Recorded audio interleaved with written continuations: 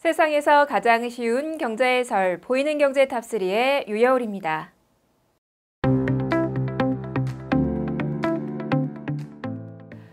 올 상반기 역대 최대 규모의 이마트 와인 장터가 열립니다. 이마트가 14일부터 일주일간 천여 품목의 와인 총 100만 병을 시주가 대비 20에서 70% 할인 판매합니다. 이마트는 최대 규모 와인 행사를 선보이기 위해 와인 선물 거래 앙프리머를 활용하는 등 사전 기획을 통해 가격 경쟁력을 유지했는데요. 와인 앙프리머란 병입되기 전 상태의 와인을 1, 2년 전 미리 매입하는 선물 거래를 의미합니다. 지난해 만원대 미만의 초저가 와인 물량을 대폭 늘린 데 이어 올 상반기 이마트 와인 장터에서는 만원에서 3만원대 유명 브랜드 와인 및 가성비 와인 물량을 지난 와인 장터 대비 30%가량 확대해 주력으로 선보입니다. 이는 지난해 8월 도스코파스를 시작으로 와인이 대중주류가 됨에 따라 초저가 와인 이상의 품질을 가진 와인을 경험해 보려는 소비자가 늘었기 때문입니다.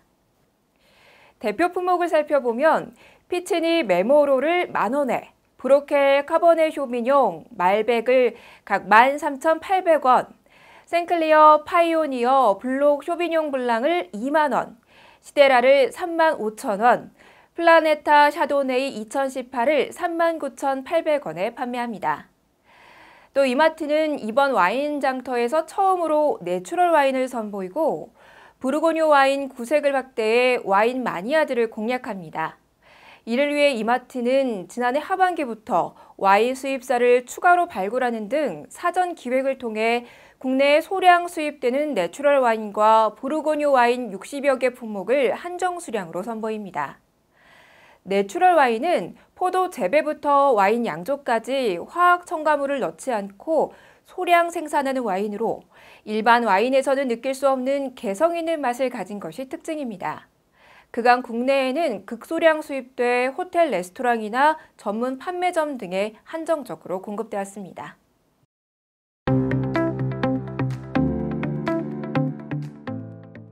앞으로 경제 상황이 더 안 좋아질 거란 우려가 늘고 있죠. 소비도 많이 줄어들고 있는데요. 식품 및 외식 업계에서는 이러한 위기를 극복하고 코로나19로 인해 줄어든 매출을 회복하기 위해 초가성비 메뉴를 내세운 전략을 펼치고 있습니다. 신세계 푸드는 최근 서울 을지로 4가에 노브랜드 버거 30번째 매장을 열었습니다.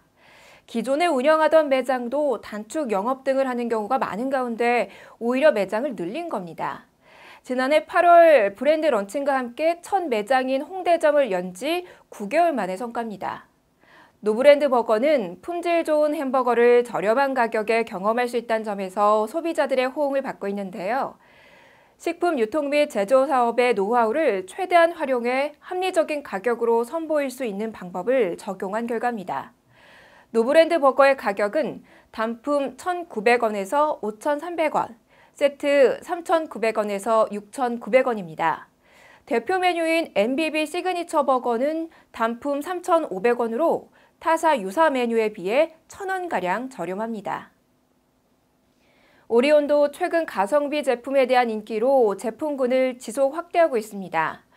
오리온이 착한 포장 프로젝트의 일환으로 지난 2019년 증량한 오 그래놀라와 2018년 33% 양을 늘린 촉촉한 초코칩은 지난 2월 전년 동월 대비 매출이 각각 43%와 15% 증가했고 초코파이와 카스타드가 함께 든 콤보 대용량 패키지의 매출도 2배가량 늘었습니다.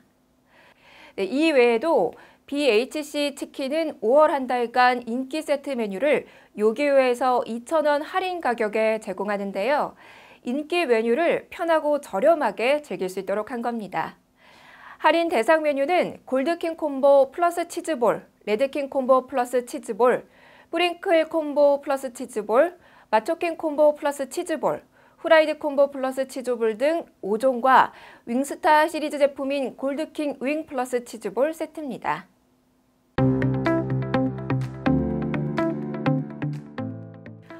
부동산 시장의 침체 분위기가 이어지자 오피스텔 시장도 위축되고 있습니다.